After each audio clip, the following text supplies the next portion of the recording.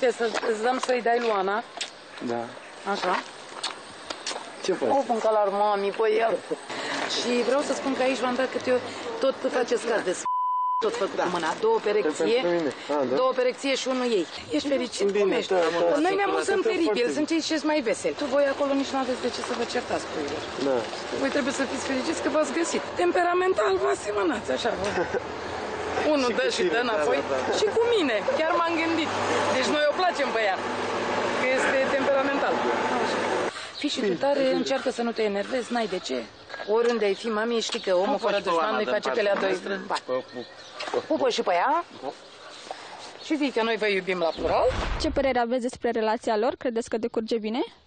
Da, decurge bine și suntem încântați. Laur este singurel în competiție. Noi, mamele, întotdeauna, părinți în general, au uh, datoria să tempereze copiii, să-i facă să nu se certe, să le dea un sfat. Întotdeauna fiecare mamă să-și țină copilul lângă ea. Fusese incidentul acela cu doamna Aurica cu Viorel și mi s-a părut uh, anormal ca o mamă să nu-și tempereze în primul rând copilul dânsei.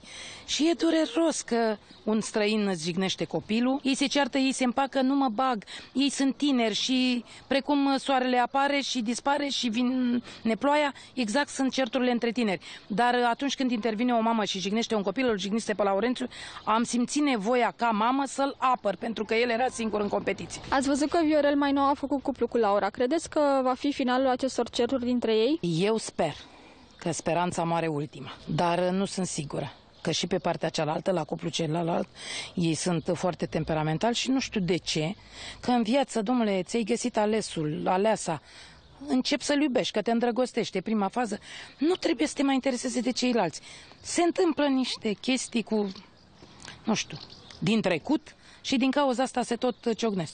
Sfatul meu este să înceteze și fiecare să-și vadă de dragostea lor. Nu sunt de acord când se spune că într-o competiție nu ai prieteni. Eu am văzut întotdeauna un atașament față de Andrei.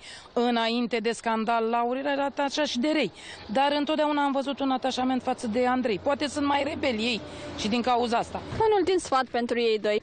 Vă rugăm să săriți peste micile imperfecțiuni ale unuia sau ale altuia, să vă vedeți de cuplu vostru, sunteți la început, uitați-vă unul în ochii altuia și nu vă mai contraziceți, nu aveți de ce, viața e atât de frumoasă și voi sunteți atât de frumoși și iubiți-vă, mamă. Uite, să-ți mă ține. Mulțumesc, dar de ce? Cu ce ocazie? Stai, nu știu.